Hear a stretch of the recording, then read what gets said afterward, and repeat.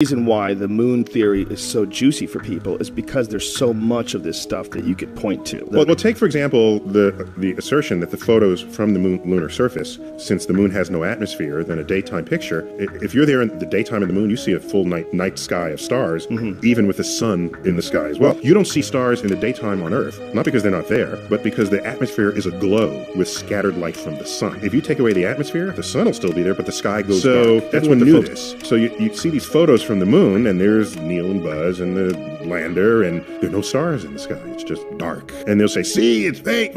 And these are people who've never taken photography. Mm-hmm. All right? If you are exposed for the bright reflective light of the astronauts in the lunar surface, that camera exposure, even in the Hasselblads that they carry to the moon and use, is too short to take in the dim light from the stars of the night sky. If you turn the camera to the sky, a much longer exposure with sensitive film, you'll get the stars, but then you overexpose the stuff in the foreground. Photography 101 answers that question.